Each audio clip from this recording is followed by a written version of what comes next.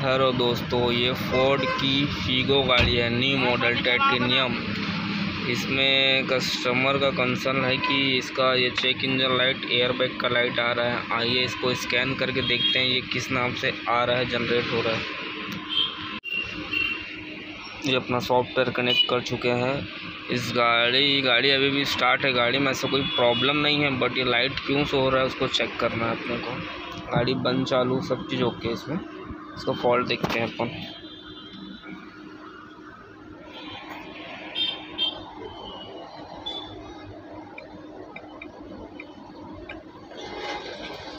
Auto scan कर लेते हैं।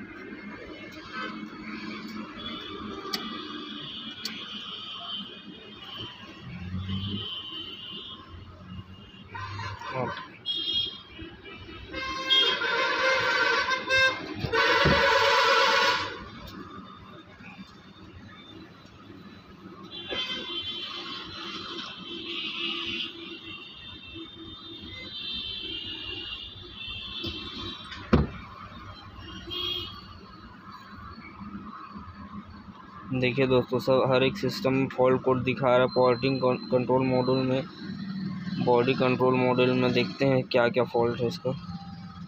Intake air system leak bank one upgrade left indicator rear turn indicator अब इतने सारे इसमें फॉल्ट कोड जनरेट है। इसको हो सकता है किसी ने इसका वायरिंग खोला या कुछ वर्क किया होगा, उसके बाद जनरेट हुआ होगा।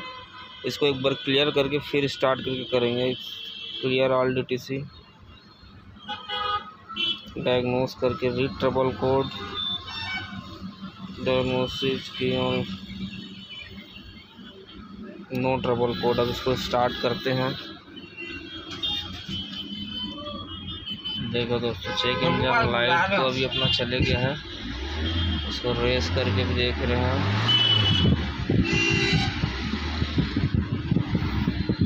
कोई दिक्कत नहीं एयर बैग का लाइट आ रहा है। आइए फिर से रिटर्न इसको बंद करते हैं गाड़ी को।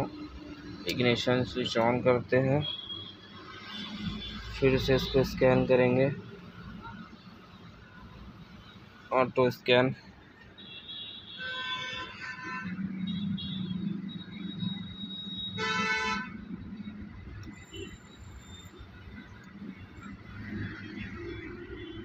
restraint control module में एक फॉल्ट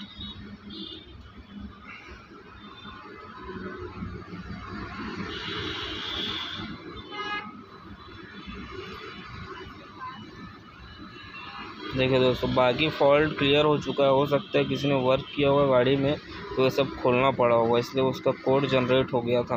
अब पूरा गाड़ी स्टार्ट करने के बाद भी सिर्फ़ एक फॉल्ट कोड बचा देखते हैं क्या है। सेंसर और ड्राइवर फ्रंटल मतलब ये एयर बैग का है। ये यहाँ का क्लॉक स्प्रिंग ख़राब हो सकता है, जिसके नाम से वो एयर बैग की लाइट जल रही है। बाकी और कोई इसमें फॉल्ट कोड अब नहीं आ रहा है। तो आप चेक करने के लिए इस तरह का इस्तेमाल कर सकते हैं, इसको चेक कर सकते हैं गाड़ी को।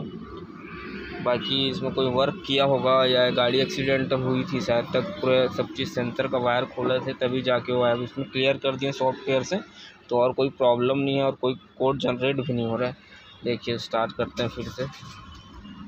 ये check engine malfunction light गया, हो गया। एयर बैग का लाइट जिसका फॉल्ट कोड ये शो कर रहा है। हो सकता है इसका क्रॉप ब्लॉक स्प्रिंग से प्रॉब्लम होगा, उसको देखते हैं सॉल्व कर